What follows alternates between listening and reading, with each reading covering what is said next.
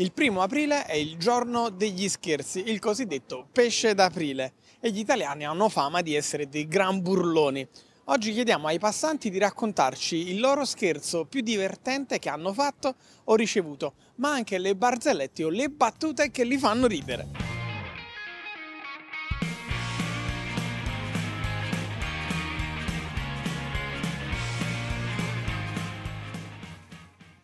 Qual è lo scherzo più divertente che hai fatto o che hai ricevuto?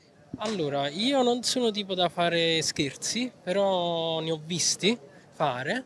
Uh, uno molto particolare, anche elaborato, uh, praticamente si scenava una specie di omicidio e quando la gente passava sotto questo cavalcavia arrivavano delle persone travestite con delle maschere tipo quelle di uh, Sole Enigmista, cose di questo tipo, e iniziano a rincorrere uh, gli spettatori. Ovviamente urlavano perché era notte. Poi dopo l'inseguimento, una volta raggiunti i poveri malcapitati, si toglievano la maschera e dicevano che era uno scherzo. Però in questi casi lo scherzo può anche trasformarsi in una sorta di pericolo perché magari chi soffre di, di cuore può rimanerci, quindi questo mi fece molto ridere. È uno scherzo horror questo qua. Sì, a tinte horror, esattamente. Alla mia ragazza una volta praticamente insieme a un mio amico abbiamo segnato il numero di telefono della sorella più piccola di questa ragazza, di, di, di questo mio amico. E poche parole, lei si è ingelosita, ha chiamato, eh, ha chiamato la sorella di questo mio amico, insomma, vai. Non vado, nel, non vado nel dettaglio, però è impazzita. Che giustamente ha trovato proprio il numero di telefono, una dichiarazione di amore, quindi ha chiamato il numero di telefono, ha sentito anche, quindi la risposta di una ragazza che era preparata ovviamente dal mio amico perché era la sorella di questo mio amico che poi le rispondeva e diceva guarda il tuo ragazzo sa bene chi sono impazzita comunque veramente impazzita. Qual è lo scherzo più divertente che hai fatto o ricevuto? Il più divertente che ho fatto allora, probabilmente ricordo qualche anno fa al lavoro avevamo uno stagista era arrivato da poco e lo mandammo a prendere il famoso Tozza Bancone. So che questo era un ragazzo non era di Napoli quindi per lui era un prodotto che realmente poteva esistere. Cos'è il Tozzabancone? Eh, il Tozzabancone è un'esperienza napoletana, cioè devi solo venire a Napoli, andare in un posto e chiedere il Tozzabancone, che è inspiegabile. È... è... qualcosa che non esiste no, e quindi no. le persone vanno in giro a chiedere questa cosa e, le... esatto. e, e, i negozianti chiedono ma che cos'è, ma di cosa esatto. stai parlando? Mi hanno fatto 5 minuti in ritardo gli auguri è stato divertente perché è stato un momento di assoluto silenzio e io mi sono fatto gli auguri da solo e tutti mi guardavano in silenzio. Molto bello, molto divertente. Ah, ok, quindi tu hanno fatto finta tutti di esserselo dimenticati? Sì, tutti presenti. Eh. Tanti auguri a me! Silenzio tombale. Qual è lo scherzo più divertente che ti ricordi? Sì, eh, niente, praticamente ha un collega, eh, lui porta sempre gli stivali, gli piglia in un cachissa, un loto, io metto dentro stivali, sette a mettere lo stivale, mamma mia, che squacchia niente. E questo è lo scherzo che io dissi là il primo aprile. Ecco, è lo scherzo. Pesce d'aprile. Pesce d'aprile, sì, pesce d'aprile. Qual è lo scherzo più divertente fatto o ricevuto? Eh, hanno fatto finta che si fosse bruciata casa, cioè, perché avevano messo le stelline sul tavolo e tipo sono arrivate e c'era una fiammata, però in realtà avevano solo tipo acceso le stelline, vabbè comunque hanno fatto credere che si stesse inceccando casa. Lo scherzo più divertente o più terribile fatto o ricevuto? Fatto, fatto, lo scherzo più divertente fatto è uno scherzo che ho fatto tanto tempo fa. Io ho condotto per anni alla radio una trasmissione di scherzi e quindi feci una volta uno scherzo ad una signora che in realtà non fu un vero e proprio scherzo, già che io la chiamai per dirle che vista la sua mole eh, sarebbe sta sarebbero stati necessari dei lavori all'ascensore per allargarla perché lei non entrava dalle porte dell'ascensore stessa ma lei cominciò a ridere e rise ininterrottamente per 12 minuti. Questo scherzo è passato alla storia come lo scherzo dell'ascensore. Purtroppo quella signora non c'è più, poi mi hanno raccontato i nipoti perché stiamo parlando di uno scherzo fatto una ventina d'anni fa e però è rimasto nella storia come uno dei più divertenti che abbia mai fatto. E come l'ha presa la signora? È stata al gioco? La signora è stata al gioco, ha riso tutto il tempo, per cui non ci siamo praticamente scambiati parole. Quando io le ho detto che bisognava allargare le porte dell'ascensore e che lei doveva occuparsi di pagare perché era l'unica che non c'entrava, lei ha cominciato a ridere e non ha più smesso per un quarto d'ora e quindi di conseguenza alla fine non lo so se lo scherzo è riuscito o no in realtà perché lei ha riso tutto il tempo quindi non siamo riusciti a scambiarci altre parole se non risate. L'italiano è una lingua brutta ed impararla non serve proprio a niente. Molto meglio imparare un'altra lingua, come il francese. Pesce d'aprile, ci eri cascato, eh? eh? Scherzi a parte, lo sapevi che puoi imparare l'italiano seduto comodamente dal divano di casa guardando i nostri video? Non sto scherzando, ma per portare il tuo italiano ad un altro livello devi diventare membro della nostra comunità. Infatti così facendo avrai accesso ai contenuti extra, come ad esempio il video senza sottotitoli, l'audio lento, gli esercizi e tanto altro.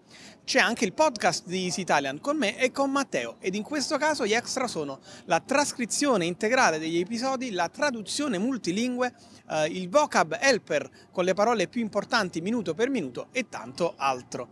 Eh, il link per diventare membri della nostra comunità lo trovate in descrizione. E tu in genere come reagisci agli scherzi? Stai allo scherzo oppure ti arrabbi? No, no, no, sto allo scherzo. Non ho mai ricevuto uno scherzo di questo tipo, però solitamente non me la prendo mai. Sono, sto allo scherzo assolutamente, che solitamente me li fanno gli amici, quindi non posso mai prendermela. E tu invece in genere come reagisci agli scherzi? Ti arrabbi o stai allo scherzo? Assolutamente no, perché lo scherzo è lo scherzo. Ovviamente se fatto bene lo scherzo uno ci si può pure un attimo arrabbiare per, per far sì che l'altro che fa lo scherzo eh, si diverta, gongola insomma, hai capito? Questo è il, il, è il bello. E quindi, però fatto bene ci casco e quindi un pochettino di arrabbia, ma poi dopo vedo che lo scherzo non mi arrabbia più di tanto. Eh, dipende dallo scherzo, per uno scherzo del genere penso che mi sarei incazzato molto, penso che non me la sarei presa molto bene. Eh, dipende, di solito sto al gioco. Diciamo quella secondo me è una cosa che viene anche con l'età, eh che quando sei piccolo è facile confondere lo scherzo con eh, la presa per i fondelli e magari uno si, si infastidisce. Però ormai la prendo sul ridere. Non ti arrabbi mai? No, no, no. Eh, forse quando ero più piccolo, al passare degli anni, ho 41 anni, ci sta pure, no? Come hai reagito a questo scherzo? E in genere come reagisci? Te la prendi o stai al gioco? No, no, sto a gioco, sto a gioco, lì per lì sono rimasto bloccato, poi vedevo tutti quanti a disagio per non potermi fare gli auguri, è stato divertente, è molto divertente. No, vabbè, io di solito sto allo scherzo, eh, non, non, è che mi arrabbio. Vabbè, un po' dentro, bru- un po' dentro diciamo, c'è quella cosa che brucia, però comunque sto, sto, sempre allo scherzo, perché è bello scherzare comunque. Eh Poi dipende se c'è il cattiverio o no. Eh però comunque di solito sto sempre allo scherzo. No, io sto al gioco, ovviamente quando li ricevo, quando li ricevevo, adesso capita molto più di rado, però insomma farsi uno scherzo è sempre divertente. E qual è il tuo uh, comico preferito o i tuoi comici preferiti? Allora, uh, a me piacciono molto Pio Amedeo, non so se li posso catalogare come comici, però quando vedevo la loro trasmissione Migratis mi rilassavano molto e mi facevano ridere, quindi sono loro due.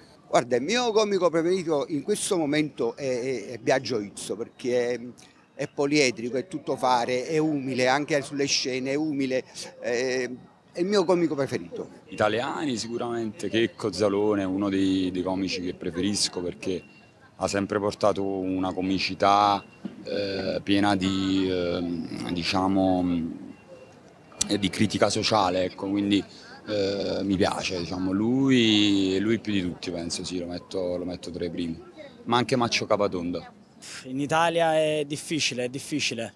Eh, diciamo preferisco lo stand-up comedy, quindi c'è Karim Musa, Yotobi per, per chi lo seguiva su YouTube, ma Ricky Gervais ho visto qualche servizio su Netflix, ma mi fermo lì. Sì, sono un fan della stand-up comedy, non è che seguo nello specifico dei comici, però mi piace in generale.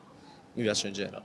E ci sono degli italiani che fanno stand up comedy fatto bene? Eh, non ne conosco. Tutti non stranieri? Sì, Fammi qualche nome. E che ne so, Ricky Gervais, stupidamente l'ho visto spesso. Teresa Mannino mi piace molto. Chi è Teresa Mannino? È una comica siciliana, e niente fa spettacoli e fa, mi fa molto ridere diciamo. Attuale Bucci Rosso preferito, eh, attore teatrale per me meraviglioso, eh, attori di una volta, eh, soliti, no? Troisi, eh, Totò, eh, insomma i soliti comici napoletani che... E poi tra gli attuali, oltre a Bucci Rosso, ora che ci penso, ecco, Checco Zalone di una volta mi piaceva, il primo Checco Zalone, prima che diventasse troppo commerciale, diciamo. In che senso commerciale? Eh, quelle, fra, quelle battute fatte, tipo l'ultimo film Tolo Tolo, battute politically correct che non mi sono mai piaciute, mi piaceva più quando era politically scorrect, diciamo. Ma i comici preferiti, diciamo, sono tra Biagio Izzo, eh, diciamo Biagio Izzo oppure Alessandro Siani. Ci racconteresti una barzelletta oppure una battuta preferita, la battuta più forte che conosci? No, non ho barzellette o battute preferite perché diciamo non sono un barzellettiere e di battute facendo teatro da tanti anni chiaramente ne sento dire tantissime ed è molto difficile che mi facciano ridere.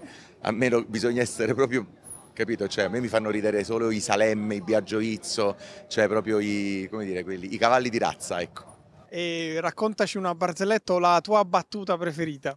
Ok, allora non fa molto ridere, lo dico.